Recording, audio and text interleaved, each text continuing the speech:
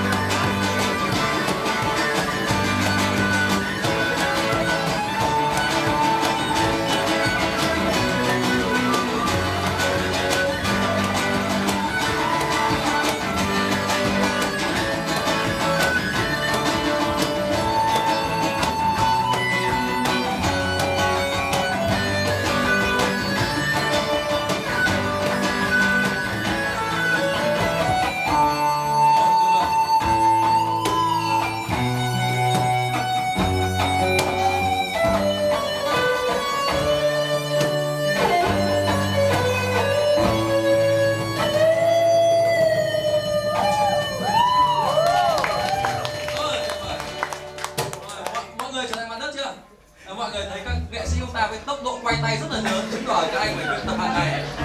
à, đúng là những người quay tay rất là chuyên nghiệp đấy à, và tiếp theo